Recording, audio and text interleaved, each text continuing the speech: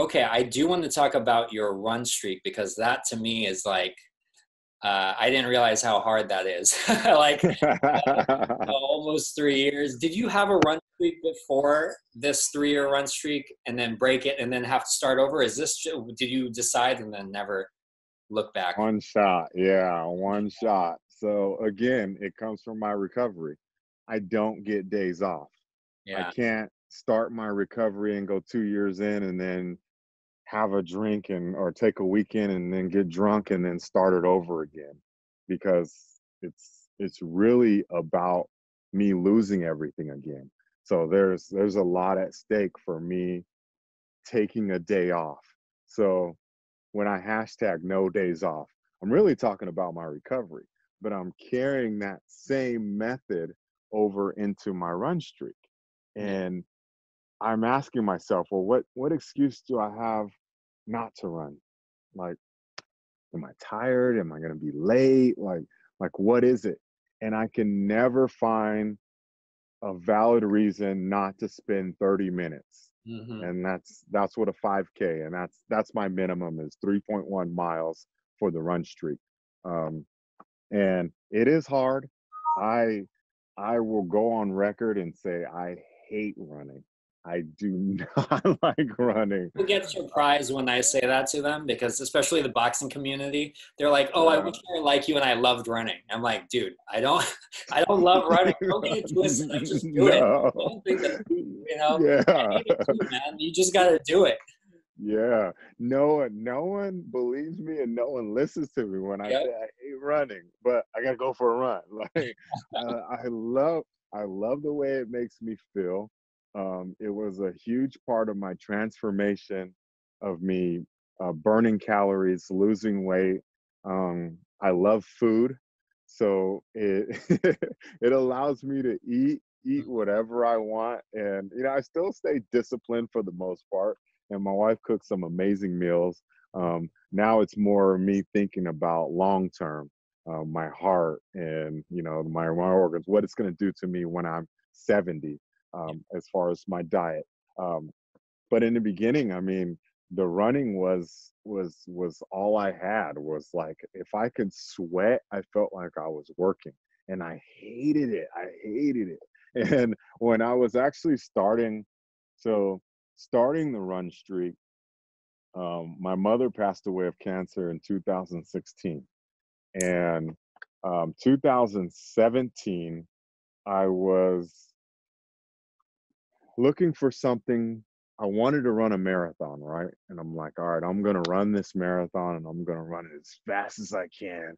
And I'm just gonna PR, I'm just gonna kill it, right? And I just needed something. I need a victory because I knew that I was gonna feel like crap on the one year anniversary. And I'm just searching and I, and I found a race uh, and I signed up for this marathon. Which and, was it?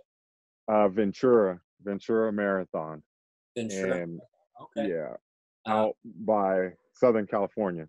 Yeah, no, I did one in Ventura. It was mountains to beach, but I didn't. I yeah, that I yeah, it's it's a different one. I was probably the same course. Yeah. because um, the mountains to beach, I was like, that would be cool. Is it a downhill? Mm-hmm. Um, yeah. So I've I've seen a lot of posts about that, and that one I was on my radar but uh, this one was not it was just in the ventura area and it was around the time that i needed it.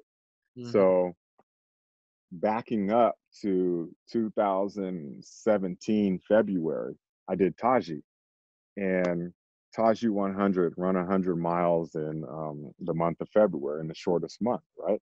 So i didn't believe that i can do it um, I tried it out in January and I got close and I think I might have hit it like a day after. Um, but February, I killed it. Yeah. February, I ran 300 miles because I ran every single day and sometimes twice a day. And somewhere in the middle of February, just because I got this like OCD with like, I need to get it, I need to get it. Yeah. And I just got obsessed with the number, you know, like, okay, I'm at 99. I need to get to 100. And so somewhere in the middle of February, I ran a 130 half marathon on the track.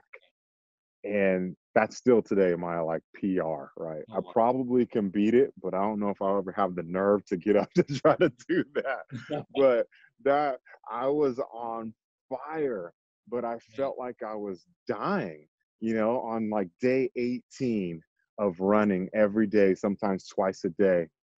So here we are, fast forward, August is, you know, right around August. And I'm looking back like, when did I feel my best running? When did I feel my most confident?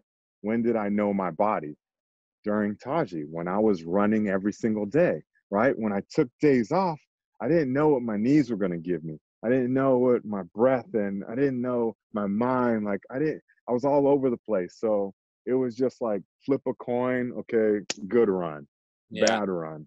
And during Taji, I was I was nailing it. Like I woke up and I knew I'm like I'm gonna run five miles at eight minutes each mile, and the last mile I'm gonna run at six minutes. You know, and I'm tired, but I knew I had it in me. Or today I'm running ten minute miles. You know, so yeah. I knew and and the fact that I could to, hmm. to say today I'm doing a 10 minute mile when you did a six the day before.